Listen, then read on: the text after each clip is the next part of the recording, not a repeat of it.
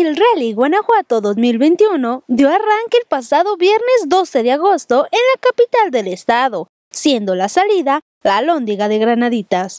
Fue el presidente Alejandro Navarro Saldaña quien dio el banderazo. Pero este no solo fue un evento deportivo, sino toda una alfombra roja de políticos, pues sin importarles el partido, color o ideales, el alcalde de Guanajuato capital invitó a los presidentes electos de distintos municipios. Entre los presentes se podía ver a Juan Carlos Castillo Cantero de San Diego de la Unión por redes sociales progresistas, Moisés Maldonado López de Tarimoro por el PRI, Leonardo Solórzano Villanueva de Pueblo Nuevo por Movimiento Ciudadano, Edgar Javier Jacobo de Doctor Mora por Morena, Luis Alberto Mondragón de Jerécuaro por el PRI y Alma Denise Sánchez Barragán de Moroleón por Movimiento Ciudadano. Esta última se le pudo apreciar siendo acompañada por un fuerte cuerpo de seguridad.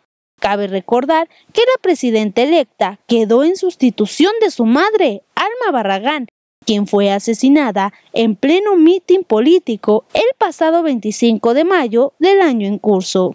Pero a pesar de la ola de violencia que se vive en el Estado y sin dejar a un lado la ola de contagios por el mortal virus del COVID-19, los electos presidentes se reunieron a comer de la mano del presidente de Guanajuato capital, Alejandro Navarro, para pasar un buen fin de semana.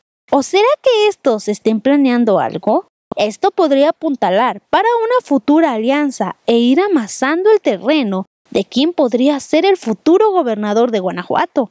Pero apenas está pasando el proceso electoral y los políticos ya están tanteándole el agua a los camotes, pues nunca se había visto tanta amistad entre los colores. Informó para el sistema de noticias TV Libertad, Victoria Vera.